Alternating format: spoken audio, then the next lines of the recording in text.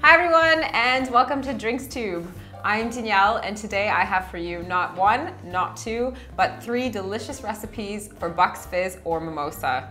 This refreshing and bubbly cocktail is perfect for brunch or a celebration. Sometimes you'll see things like gin or brandy added, and also you usually see Bucks Fizz in the UK or the Mimosa in the US. But essentially the only difference is the ratio between bubbly and fresh orange juice. So today I have for you a classic, a pink Bucks Fizz, and an elderflower twist. Right, let's crack on.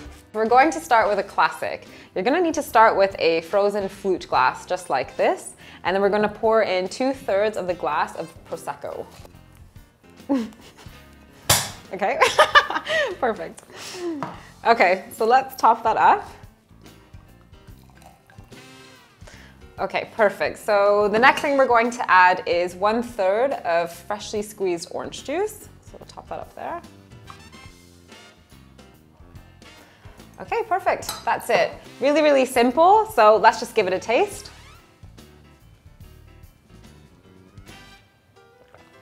Mmm, that is absolutely great. Really, really light and refreshing, but slightly sweeter than having a regular Prosecco, and you get the nice citrusy flavor from the orange. It's definitely a classic. Right, so up next we have a pink Bucks Fizz, and we're going to take our frozen flute glass and fill it up with two thirds of rosé sparkling wine. Okay, great. okay, let's put two thirds of the glass. Okay, great, so that's all set. And next up, we are going to add in one third of blood orange. Now you can use fresh blood orange juice, but it's not in season for us right now, so we're just going to use the juice. So pour that in. Check out that beautiful color. Let's give it a try. That is brilliant. Really nice light flavor and you can taste the blood orange. It's definitely a great twist on a classic. So last up, I have for you an elderflower Bucks Fizz. I'm going to take my frozen flute glass and pour in two thirds of Prosecco. Let the fizz relax a little bit.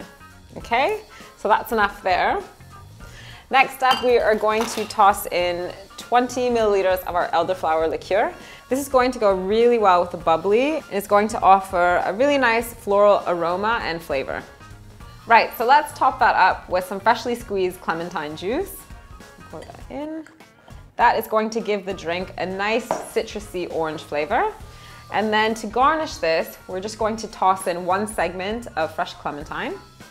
And lastly, we're going to take a fresh lemon peel and we're going to squeeze the oils all over the glass. It's going to give us a nice fresh lemon aroma when we drink it.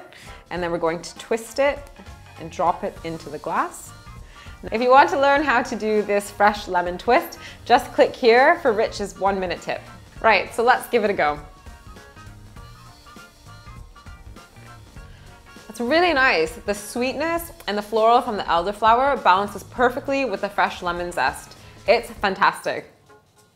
There you have it guys, three wicked ways to make Bucks Fizz or Mimosa. You have to give it a go. And if you're looking for any more brunch cocktails, check out Jamie's Bloody Mary by clicking here.